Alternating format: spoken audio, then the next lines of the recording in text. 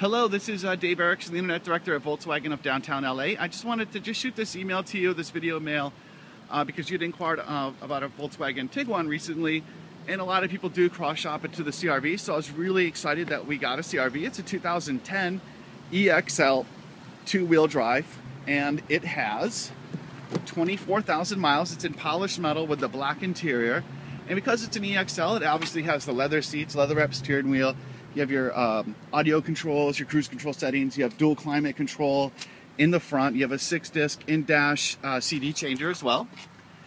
And just wanted to show you also the back. Uh, the CRV has some really great interior space and loading. So uh, you can see you have a, a nice wide loading area that's really low. The seats flip forward as well. And it's just in perfect condition. Uh, you can see it here from the side. And I love this color. It's a very popular color with the Honda CRV.